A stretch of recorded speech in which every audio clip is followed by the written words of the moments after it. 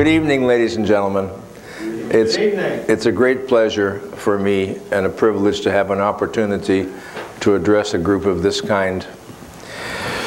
And I want to spend some time sharing with you some thoughts of mine that I have in recent times over the challenges that libertarians need to be facing.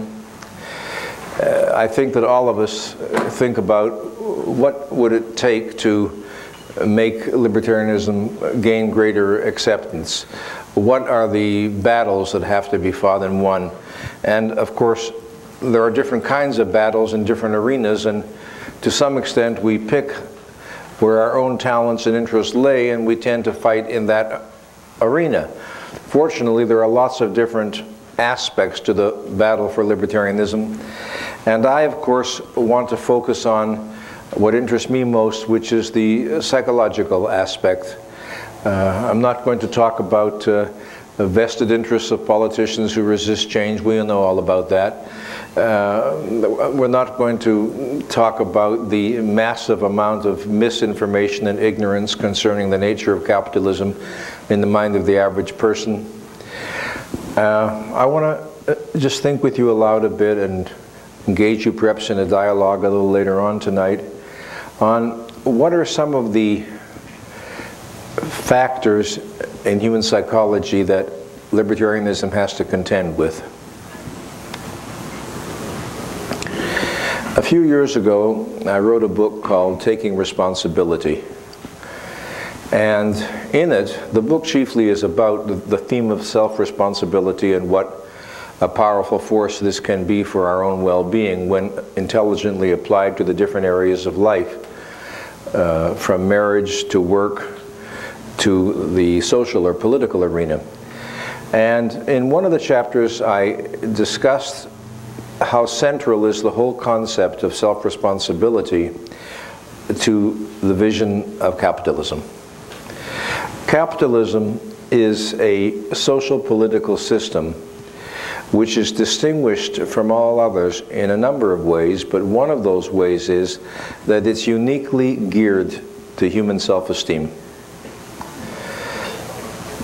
It rests on the premise of self-ownership, of self-responsibility, of respect for the rights of all individuals, and it stands against any attempt to confer benefits on some members of society by violating the rights of other members. So the good news is that it offers people tremendous freedom and tremendous opportunities.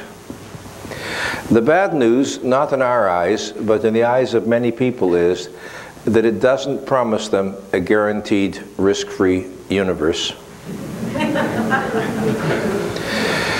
if you read many of the 19th century attacks on capitalism, you see over and over again, both from the religious quarters, the medievalist quarters, and the Marxist quarters, the longing for a kind of a, a Garden of Eden in which life will essentially be without risk and in which uh, your minimum subsistence, your material well-being will be essentially guaranteed and you will be protected against accidents and it will be a life that in exchange for, for, for, renouncing or forfeiting freedom, you will have the promise of great security. Now, of course, in our century, and in fact just in the last decade or so, we've seen the uh, collapse of that dream in the communist version. We've seen massive disenchantment with socialism. But that does not mean that the dream of a risk-free universe is now behind us. I think that one of the toughest battles in conversations with people and trying to get people to understand the libertarian vision is to understand ourselves and to find a way to communicate that we take something for granted that many people do not. The libertarian mentality is a non-entitlement mentality. The libertarian mentality presupposes a person's willingness to accept responsibility for his or her own existence.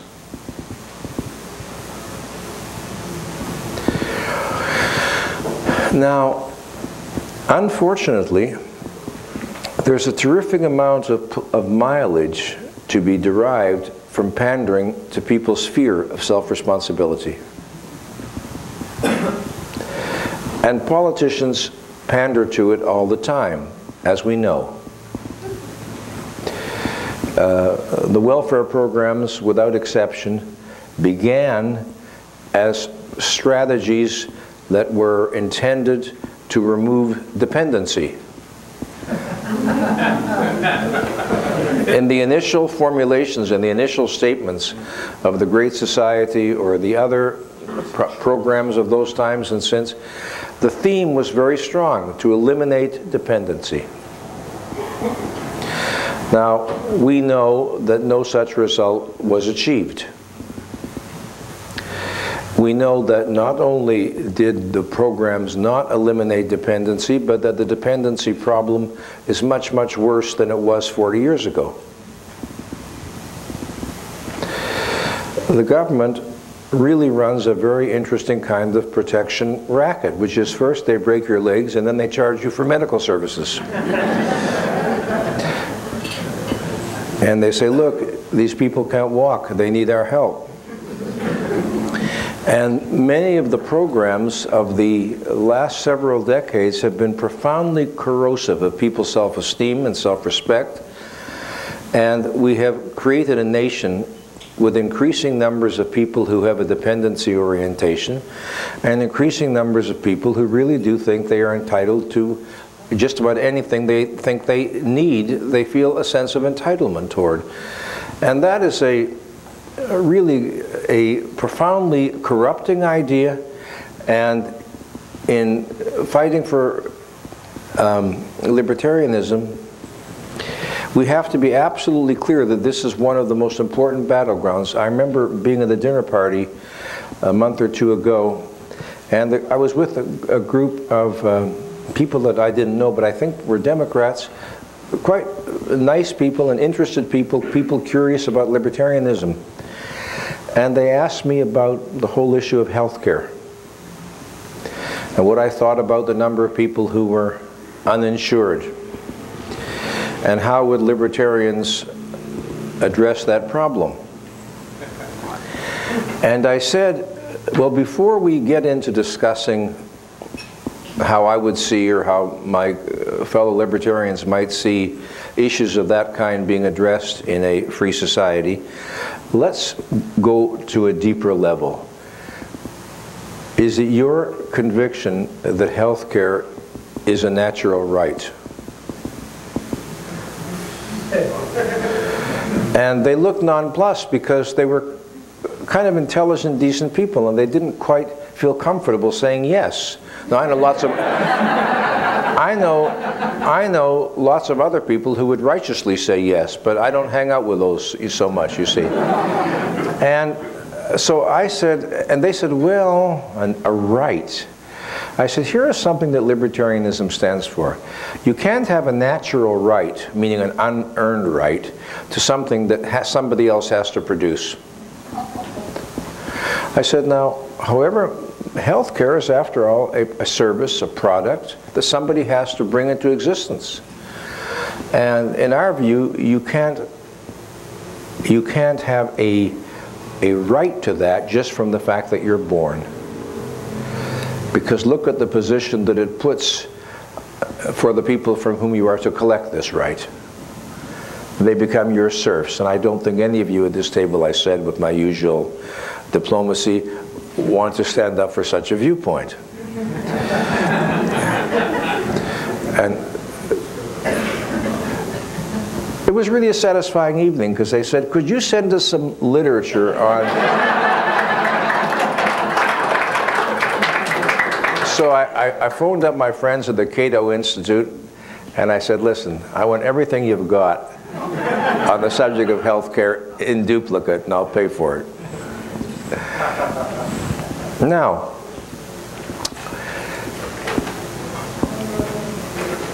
I want to, by way of setting a frame talk a little bit about my work in a non-libertarian context, and then I'll pick up the thread and bring it back, I promise you, to libertarianism. I had an interesting invitation uh, uh, from a Hungarian businessman to come to Budapest, spend a week there, talk to the Chamber of Commerce, and talk to other business groups in Budapest about capitalism. Help them to understand what a free market society is and how it works. Help them to understand entrepreneurship. Help them to understand what are the challenges in transitioning from a command economy to a relatively freer economy.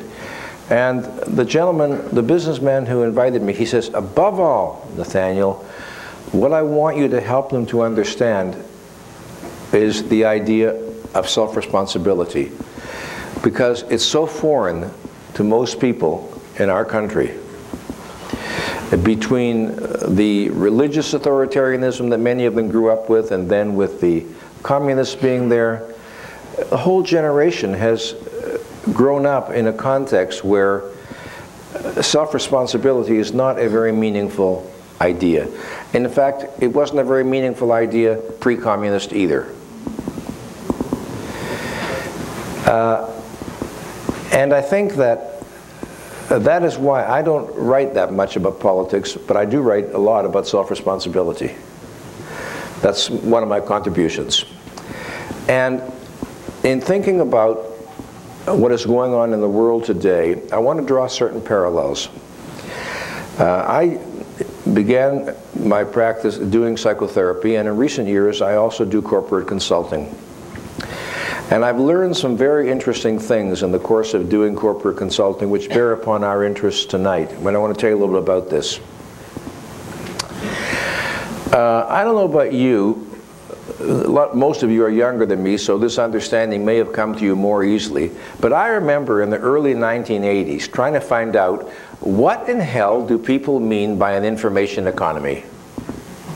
Now, this is early 1980s. I mean, I hear people talking about the new importance of information, the new importance of ideas. And I kept saying, well, but weren't ideas and information important in industrial society? So it took me uh, some time to understand how profound is the change from an industrial economy to an information economy in which wealth is no longer land, as in an agricultural economy, it's no longer uh, factories, capital goods, or even money, as it was in an industrial economy. It's now knowledge, innovation, ideas. And suddenly we're living in a world in which everybody's chief capital asset is what they carry between their ears. And this has consequences. And during the 1980s, if you follow the business literature, a lot of articles were written talking about uh, the fact that workers now needed much higher levels of training and much higher levels of education, uh, obedience no longer was worth much in the marketplace. Manual labor had a smaller and smaller and smaller market. This was the age of the knowledge worker, and knowledge workers needed continuous education and continuous training. And as I was reading this, I had a kind of an epiphany, and I thought, Jesus, they're missing something very important. It's perfectly true that people need new uh, levels of training and education, etc. But it's also true that an information economy demands of people a higher level of psychological development than an industrial economy. Because in an industrial economy, practically most of the jobs you get the training in a very few months and then you just apply it indefinitely into the future. In an information economy with the sum total of human knowledge uh, doubling roughly every six to ten years, with new knowledge, new scientific discoveries, new technological breakthroughs happening at an accelerating rate, where the rate of change itself is happening at a faster and faster and faster and faster speed, 10 seconds after you learn something, it's on its way to obsolescence. It's an entirely new kind of world which has got fantastic, exciting opportunities if you're a thinking, self-responsible human being, but if you're not, it's scary as hell. Now, I believe that worldwide, one of the reasons for this resurgence of religious fundamentalism and tribalism and racism is because people are scared. They don't necessarily know why they're scared, but they're scared. There is a apprehension at some level that the world is changing, changing very rapidly, changing in a way that it's very hard for the average person to understand. And the ground underneath most people's feet feels shaky, even if they can't explain why.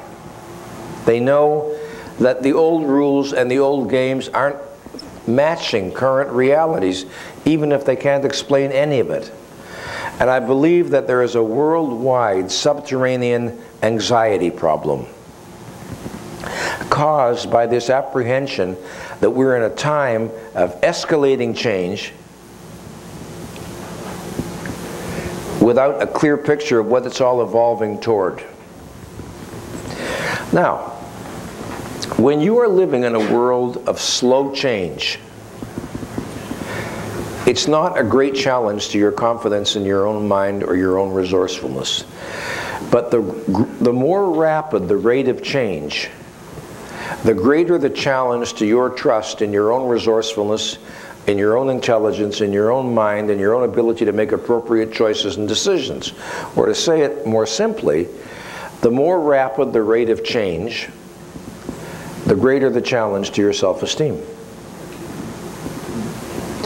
We are living in an, at the beginning of an information age economy which is going to require of people a higher level of self-esteem to be economically adaptive than was required of them earlier in our history. Knowing how to repeat motions that somebody else taught you doesn't give you access to good jobs anymore. I remember I was in a Borders bookstore in Westwood, Los Angeles, when a book of mine came out called The Art of Living Consciously, and I was giving a talk trying to explain to people about how the world had changed and the great new challenges and why it demanded of us that we operate now at a higher level of consciousness than we had been required earlier. And there was a woman in her 50s in the, in the audience, and during the question period, she says, I want to tell you that I am getting more and more upset the more you talk. and I said, would you care to tell us why? And she said, for 23 years, I held a terrific job. Pay was good, very easy, simple tasks. I could do it half asleep. Lots of time to get to gossip. I swear to you. Very little expected. People were nice. But some company bought our company and fired everybody from the CEO down to me. I, I wonder why. Anyway. And she said, this week coming up, I've got to meet with two placement agencies. I got to go looking for a new job. And I know, I don't exactly know how I know, but what you're talking about tonight, Branden, is about that. I know that never again am I going to have that kind of a job. I know that next employer is going to demand that I do much more thinking and be much more conscientious and focused, using your word, Branden, than I ever had to be before. And I'm telling you, quite frankly, I don't like it. I like the old way better. I said, good luck. now, what we want to realize is that what is true of an information economy is also true of laissez-faire capitalism,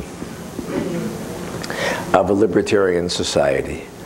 And that is to say, it requires a higher level by far of psychological maturity than a welfare state requires, let alone a socialist society requires.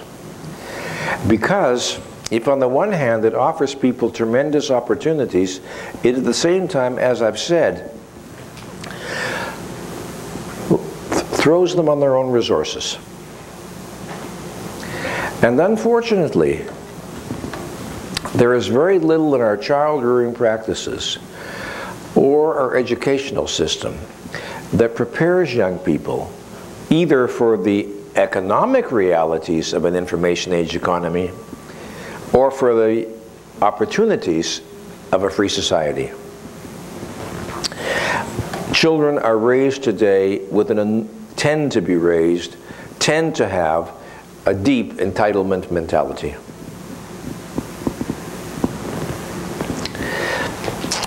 And that makes, at the same time, because we're more than the product of one particular influence, we do see that a great many young people know something is totally wrong with their elders. And they are often properly quite disinterested in politics because they kind of got it that the real fun in this world is happening somewhere else. And I certainly think it's true, as it's been reported many, many times, that if any one group that is most likely to be sympathetic to libertarianism is who?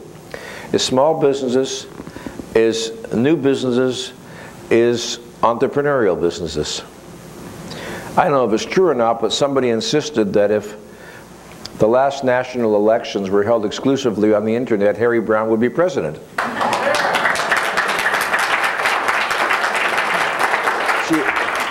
I think there is a natural match between the psychological traits required to be comfortable with a free society and the psychological traits required to be comfortable in an information age economy. And that, from that point of view, I believe that there are very hopeful forces at work in the world today which are going to be driving us in a libertarian direction. I'm not going to summarize. There's so much positive news that I'm sure other speakers will share with you this weekend. From the whole phenomenon of increasing privatization to Jose Piñera's success in now eight Latin American countries with the privatization of Social Security in one form or another. Even China is expressing an interest in the privatization of Social Security. There are a lot of very exciting, positive, hopeful things that one could point to. So I'm going to assume that you know that or you'll hear about it later this weekend. And I'm not going to talk about that. But what I want to talk about is our need to be very, very clear and even compassionate when we're talking to people who don't share our views that we are offering something, we are talking about something which to most people is incomprehensibly radical. I have, I'm in an interesting position. I have a lot of friends who are Democrats, and they're nice people, and they love me. and, um, but they're mystified by me because, you know, they can't think of me in the terms that they usually would think of people with whom they politically disagree because they know me personally. So, and they'll often say, how is that again, Nathaniel? Would you tell me that one more time? And I can see they are really struggling. The idea of a non-coercive society, the idea of a voluntaristic society in which people would absolutely not have the right to impose their values on other people. It's just like a, a fantasy. It's like it's totally outside the intellectual range. And these are very, very smart people. I am friendly with Democrats, but not with dumb Democrats. okay? And so, what we are up against, as I see it, is the challenge of helping people to understand that Many of the tenets that the best parents would teach their children applied politically would lead straight to libertarianism. Now think about that. Suppose you said to a parent, do you want your children to grow up being taking responsibility for their own choices and actions? You bet I do. Do you want to raise children who will understand that in human relationships they've got to carry their own weight and earn their own way? Of course I do. I don't want my kids to be bums. Do you want your children to grow up feeling that they ought to earn whatever it is they want out of life? Of course I do. Do you want your children to grow up feeling the world owes them a living? Absolutely not. Do you want your children to grow up feeling that they're entitled to what other people have produced without any effort on their part? Of course not. Well, if you think about those ideas and apply them consistently, they will lead you, they won't lead you to socialism. They'll only lead you to libertarianism. So, one of the ways that I find it helpful to get people to at least understand what libertarianism is about is building bridges between an arena where they do understand self-responsibility and showing how it applies in an area where they haven't thought about it applying. You see, nobody that I ever met is against self-responsibility totally. We all have areas, including us, I guess, where we are more self-responsible and probably other areas where we are less self-responsible. I mean, we can be, for example, a person can be a dynamo of self-responsibility in the office and come home at 5 o'clock and turn into an emotional five-year-old. You may have heard of that phenomenon. So everybody is in favor of self-responsibility in some respects, and few people uh, understand its application consistently. I used to tell this story many years ago. Maybe you'll find it useful. I think I wrote it originally in an article for the Objectivist newsletter, but I've used it in talks a number of times since.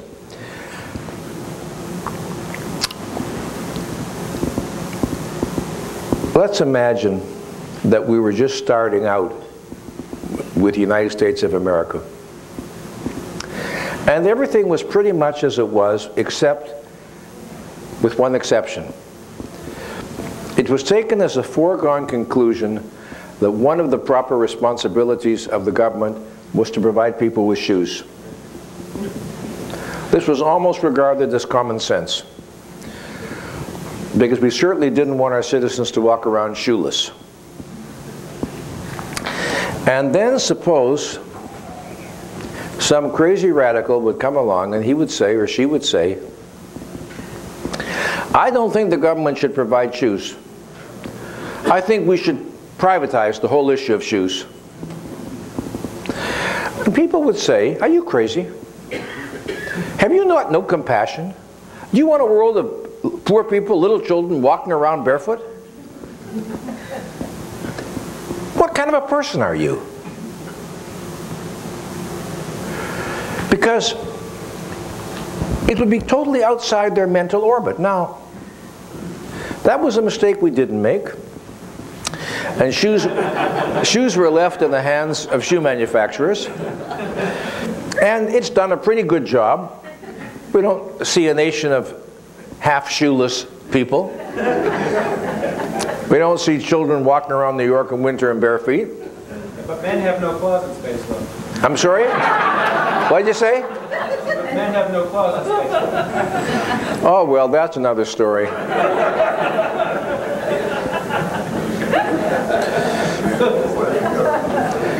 I'm thinking of writing a, a, country and western song entitled, I'm hoping my husband will fall in love with another woman so I'll have more closet space. it's kind of a catchy title, don't you think? Back to the point.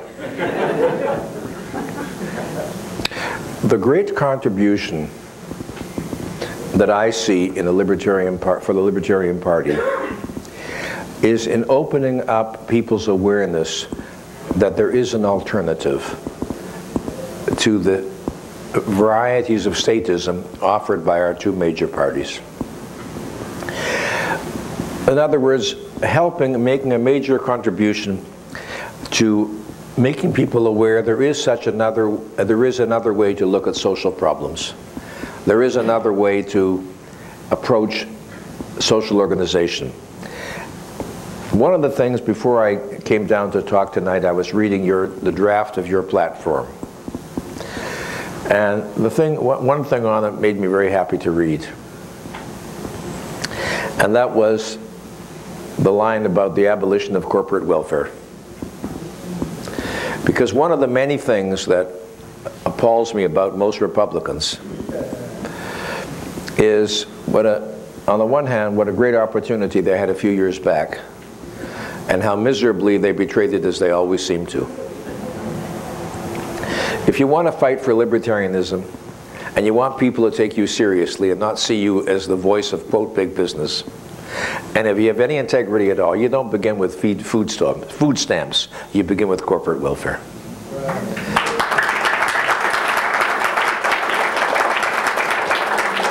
You leave, leave food stamps to last. If you really mean business, and you want people to understand that you really are a new voice and not just more same old, same old. Now, it's a great pleasure for me to talk with you, but I have to tell you something. I no longer much enjoy straight talks, but what I really love is question periods. So, although I was planning to say a great many other things I haven't said, I'm going to give myself the pleasure of making a pause here and let's make the rest of the evening a dialogue and questions. I promise you it'll be more enjoyable. I thank you for your attention and please raise questions.